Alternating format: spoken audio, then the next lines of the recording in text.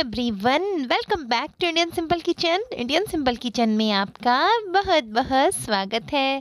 आज मैं आपको चुरमुर चाट बनाना सिखाऊँगी गाइस जिसे बनाना काफ़ी आसान है। इसे बनाने में आपको बिल्कुल तीन से चार ही मिनट लगने वाले हैं और ये खाने में काफ़ी ज़्यादा चटपटा और काफ़ी ज़्यादा टेस्टी होता है। किसी भी ठेले वाले के पास वाली चुरमुर चाट का जो मज़ा होता है, वो आज हम घर पे लेने वाले हैं गाइस क्योंकि इसे हम बिल्कुल उसी तरीके से बनाएँगे और बिल्कुल सेम टू सेम उसी तरीके से सर्व भी करने वाले हैं। तो चलिए चलते हैं अपने किचन की तरफ़ और जानते हैं इस प्यारी सी या बिल्कुल टेस्टी सी रेसिपी का राज। चाहते मिलने की तुमसे, चाहते मिलने की तुमसे रोज होती है नई दिन है सोना, और चांदी रात बन फुल मस्ती, फुल एंजॉयमेंट के साथ। चलिए शुरू कर लेते हैं। बना लेना चुरमुर को। तो इस चुरमुर चाट बनाने के लिए मैंने यहाँ पे चार छोटे साइज़ के आलूओं को मैश कर लिया है। मैंने इसे बहुत ज़्यादा भी मैश नहीं किया है। इसकी गुठलियाँ आपको दिख रही होंगी। और इसी के साथ मैंने यहाँ पे पाँच बोरियाँ ले ली हैं। और ले लिया है कटा हुआ प्याज मैंने यहाँ पे एक छोटे प्याज को बिल्कुल बारीक कट कर लिया है और ले लिया है धनिया का पत्ता। धनिया का पत्ता भी हमें बारीक कट कर लेना है। एक हरी मिर्च ले ली है जिसे बारीक कट कर लिया है। इमली का रस ले लिया है और इसी के साथ मैंने यहाँ पे कुछ मसाले ले लिए हैं। मसालों में मैंने ले लिया है one teaspoon red chili powder, one teaspoon धनिया पाउडर, वन टीस्पून काला नमक वन टीस्पून भुना जीरा पाउडर और स्वाद के अनुसार नमक। तो चलिए इन सब चीज़ों के साथ में शुरू कर लेते हैं, बना लेना।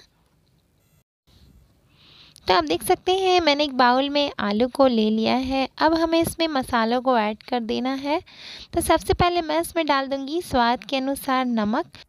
नमक डालने के बाद में मैं इसमें डाल दूँगी धनिया पाउडर। तो मैंने इसमें वन टीस्पून डाल दिया है धनिया पाउडर।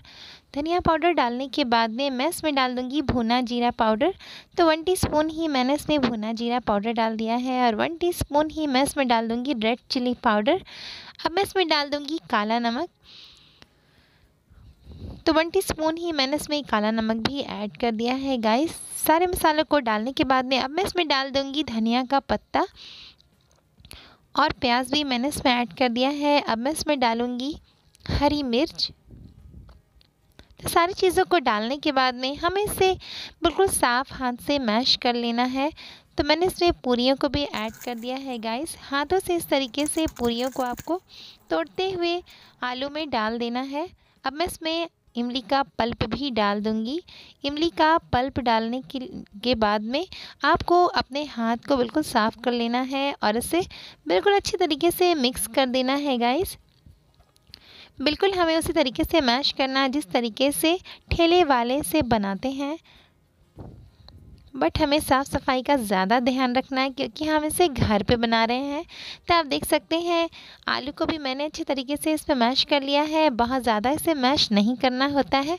मैंने इसमें डाल दिया है इमली का पल्प ऊपर से और इसी के साथ मैं इसमें फिर से एक पूरी को तोड़कर ऊपर से सर्व कर दूँगी अपने प्लेट को। तो हमारा जो प्लेट है, चुरमुर वाला, वो बिल्कुल रेडी हो चुका है गाइस आप देख सकते हैं, काफ़ी ईज़िली मैंने इसे रेडी कर लिया है। तो इस तरह की चाट बनाकर जब भी आपका मन करे आप अपने घर पे इंजॉय कर सकते हैं। वो बिल, वो भी बिल्कुल साफ़ सफ़ाई के साथ में। क्योंकि जब भी हम किसी भी मार्केट वाली चीज़ को घर पे बनाते हैं, वो भी बिल्कुल उसी तरीके से तो इसका मज़ा भी दोगुना हो जाता है। तो मैं उम्मीद करती हूँ कि आपने सीख लिया होगा कि चुरमुर चाट आप ईज़िली अपने घर पे किस तरीके से बना सकते हैं। तो इस तरह की चाट घर पे बनाएँ, सबको सर्व करें, सभी को बहुत ज़्यादा पसंद आएगी। तो ज़रूर बनाएँ, ज़रूर खाएँ, ज़रूर इंजॉय करें और कमेंट करके मुझे ज़रूर बताएँ कि आपने इसे किस तरीके से बनाया है और मेरे चैनल को सब्सक्राइब करें लाइक करें शेयर करें और बेल आइकन प्रेस ज़रूर करें, जिससे आपको मेरे हर लेटेस्ट वीडियो की नोटिफिकेशन काफ़ी ईजली मिल जाएगी। तो मिलती हूँ आपसे फिर से ऐसी ही आसान सी या बिल्कुल घरेलू सी रेसिपी को लेकर के। Till then bye bye guys